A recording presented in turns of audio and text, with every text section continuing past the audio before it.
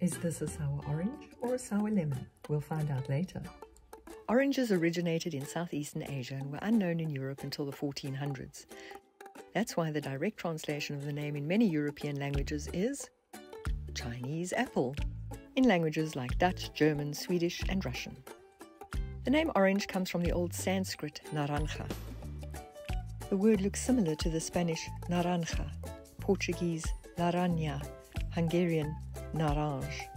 And then if you drop the N, and then you get the French orange, English orange, the alternative German orange, and Japanese and Korean orange.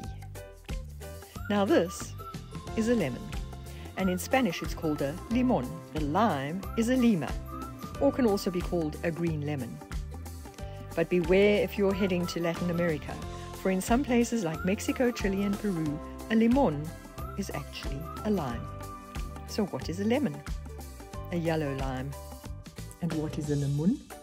It sounds like lemon, but in the South African language of Afrikaans, a lemoen is an orange. Hmm, so what's a lemon called?